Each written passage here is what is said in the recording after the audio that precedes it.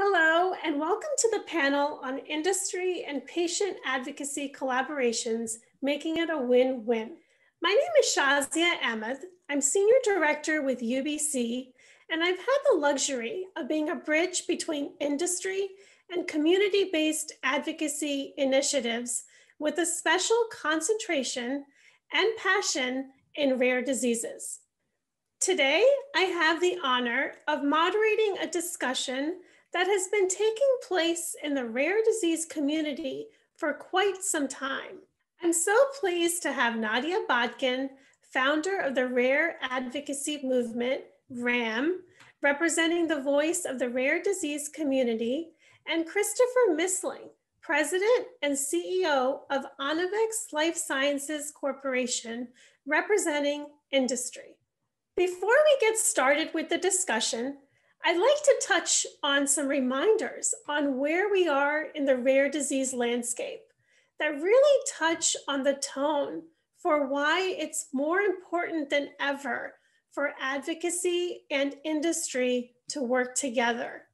There are more than 7,000 rare diseases, and only a few hundred have FDA approved treatments. Most rare diseases are not well understood, and many aren't being studied by researchers. Rare diseases tend to be serious, complex, and lifelong. Patients experience significant diagnosis delays, but real world evidence and advocacy partnerships with industry can really help. Industry and advocacy collaborations are key to success for all phases across therapeutic development, but there are critical factors to make it a win win.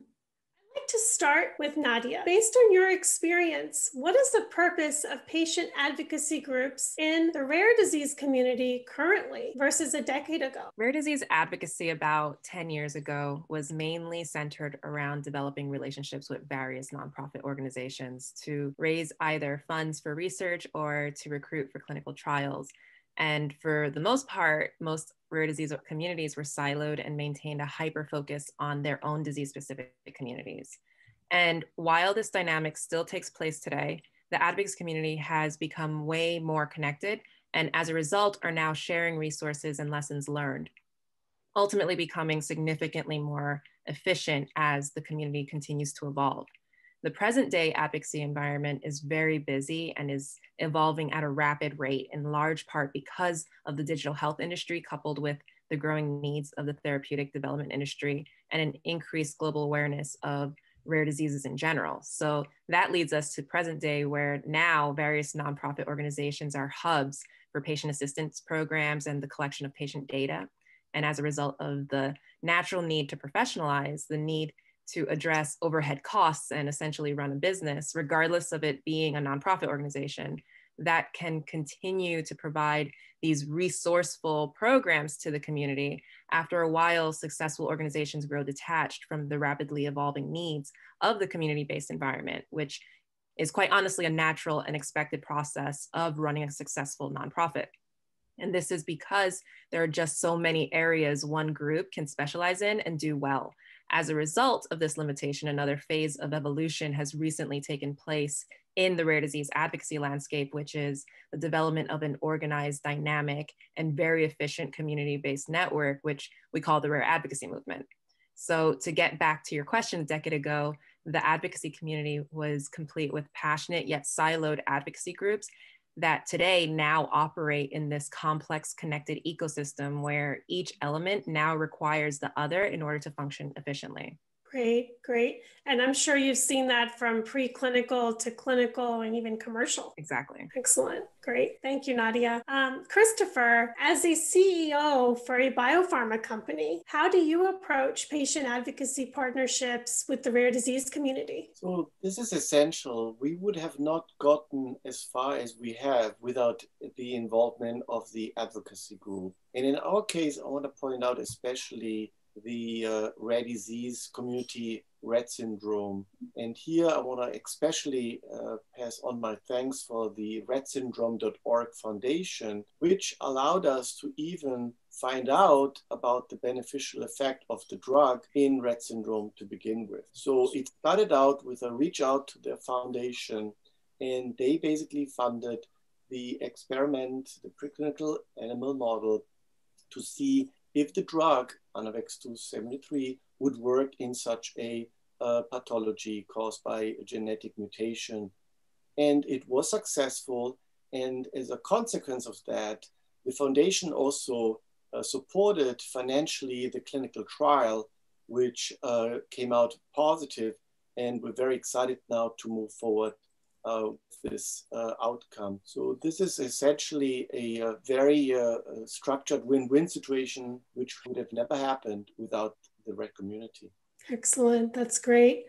And then um, I'm sure you've been able to adapt with um, the current pandemic and COVID situation by learnings from the advocacy community specific to Rett syndrome?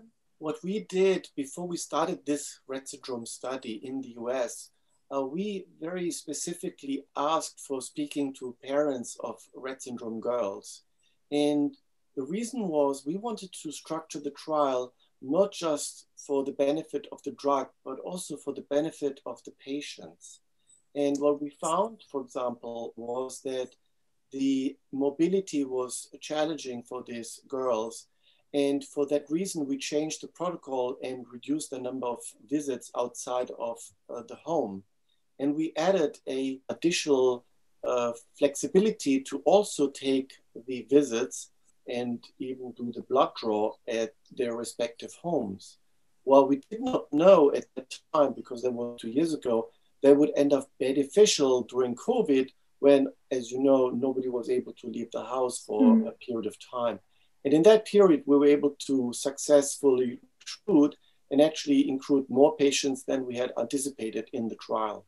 Excellent. That's great. Nadia, what challenges do patient communities come across when working with industry that could be addressed prior to initiating collaborations? So there are several challenges that advocacy communities face when working with industry that can easily be addressed prior to initiating collaborations, but we definitely do not have time to go into all of them. So I will mention the underlying cause of most of the challenges that advocacy communities report experiencing, which involves some members of industry, obviously not all of them, um, not understanding the value behind community-based insights so again, we have Christopher Missling, who's obviously not a part of this group, but there are several members of industry that tend to introduce advocacy as they prepare for either recruiting for already designed trials or the marketing of already developed commercial campaigns and not integrating advocacy early on to inform the development of these trials and the development of appropriate content for their campaigns. No, that a lot around transparency, trust really helps a lot in that area. That's great. Thank you. Um, so Christopher and Nadia, a question for you both, and I'll start with Christopher. How can challenges with diversity and equitable inclusion in clinical trials be improved with patient advocacy groups and industry? In our case, what we did, we very proactively reached out to the community and in support with the Rett Syndrome Advocacy Group. We were able to recruit successfully a very large uh, study population in our Rett Syndrome study. I think also a large portion of the ability to do so rest with the uh, clinical trial sites, which I understand have a, a protocol procedure to make sure that uh, the entire community uh, will be addressed and uh, the information will be made available for the ability to enroll in a study in such a study. Great, great. Thank you. And Nadia, what is your perspective or anything you'd like to share in that regard?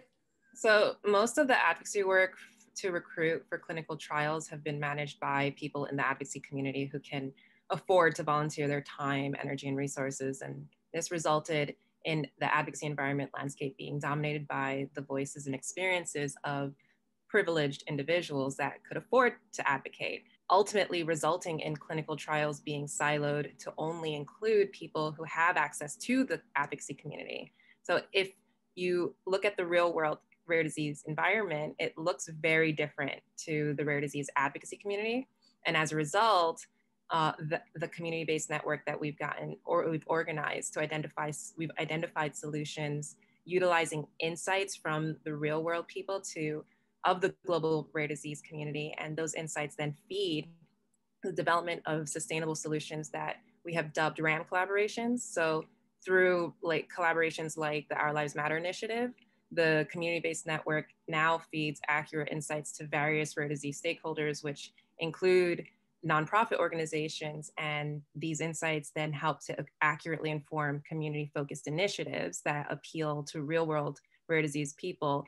And given the real world is naturally diverse, when accurate insights are applied, the development of clinical trial strategies and commercial content we start to see the more more diverse and equitable inclusion in clinical trials.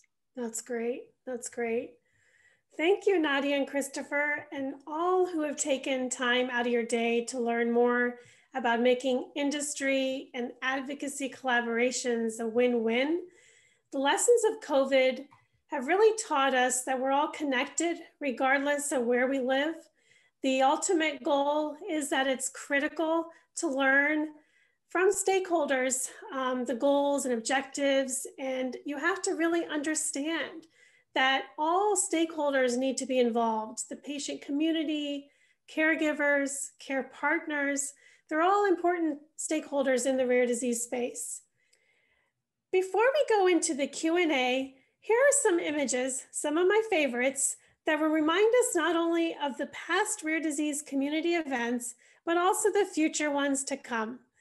These events have really functioned like family reunions for the rare disease advocacy community, with the community growing each year.